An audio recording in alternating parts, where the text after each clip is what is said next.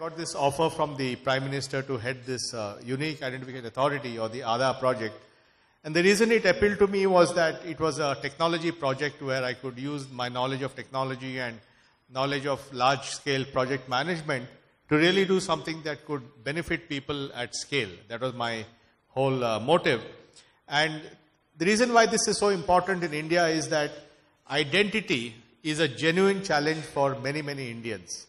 Maybe not for the people in this room because we have our uh, you know, passports and our voter ID card, we have our uh, driving licenses and we have our PAN cards. But to the vast majority of people in the country, they don't have any ID whatsoever.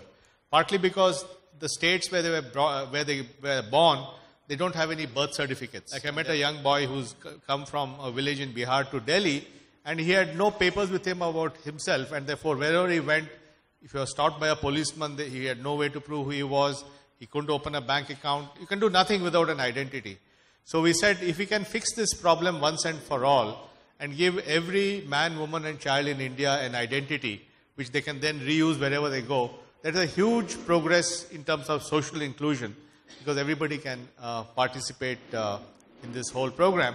And so that was the idea of this Aadhaar project, which was to give everyone an identity, which is really uh, giving a billion people a unique identity.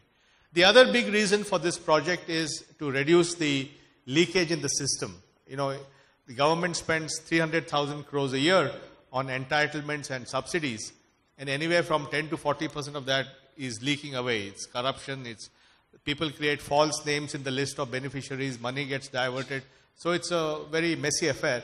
So by giving everybody a unique ID and making sure that all the beneficiaries in the database have the unique ID number, you can make sure there are no fakes and duplicates in a database and that, that eliminates a lot of wastage. And we have already seen, you know, we have implemented this in uh, pension programs in Maharashtra, in a PDS program in Andhra Pradesh, in the LPG program.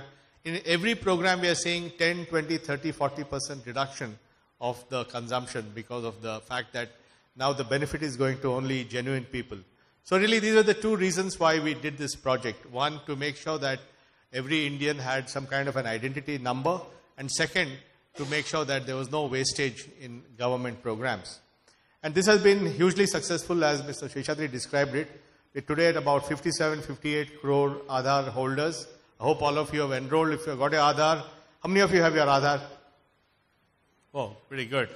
I'm happy. How many of you have enrolled but not got Aadhaar? Oh, that's not bad. Only three or four. Oh, you do. So why don't you give your details and we'll follow up on your uh, Aadhaar. How many of you have yet to enroll? Well, if you can let us know, then we can invite you to an enrollment camp. So I've taken care of all three categories. Those who have Aadhaar, those who don't have Aadhaar, and those who have enrolled but not got it. So the system we have built generates now about 30 crore Aadhaars a year. So provided this momentum is kept up in the next two to three years, everyone in the country will be covered. So we'll have achieved our goal.